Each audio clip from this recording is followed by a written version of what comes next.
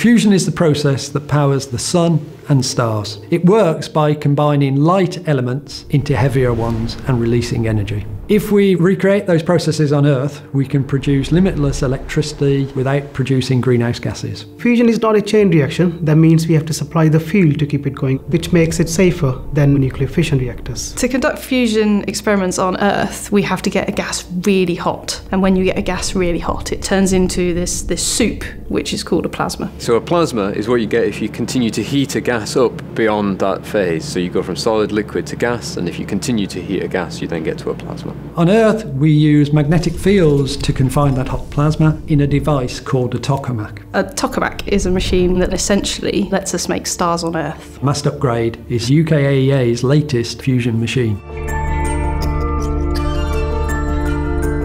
So Mast Upgrade is an evolution of the last tokamak that we had on site of Mast. Mast operated for 13 years. We then shut it down and it's undergone a significant overhaul. In fact, 90% of the machine is actually new.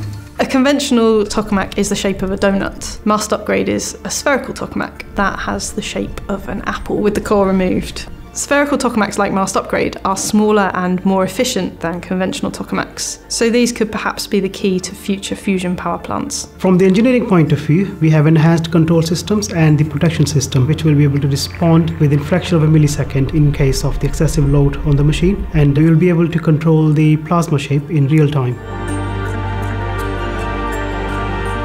So Mast Upgrade has three main aims to solve the exhaust problem, to give crucial information for ITER, and to help us design and build a future power plant.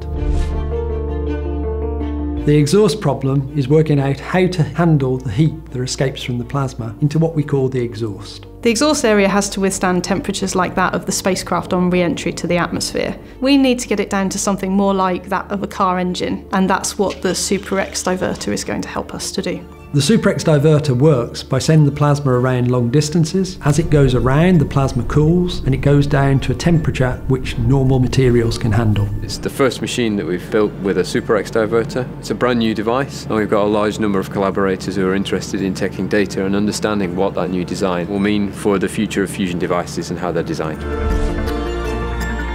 We're going to use Mast Upgrade for physics studies for ITER, which is going to be the largest fusion device currently under construction in the south of France. So ITER is the next generation of fusion device, and Mast Upgrade will support it by providing data from experiments we do here to direct how to run that machine in the future. And because of the different shape in Mast Upgrade, it allows us to do things that other machines can't do.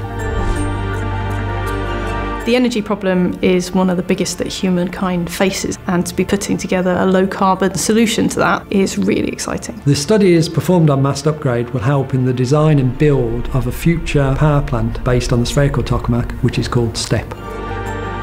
I feel like I'm being part of something bigger for the future. That's what excites me and wakes me up in the morning. I'm excited because I want to take part in making fusion energy a reality. And seeing this new device come together is a real great achievement. I'm really excited about having to generate a new plasma inside a new machine. When you're part of the control operations team and you see what you want to see on the screen, you just feel really proud to be a part of Mast Upgrade.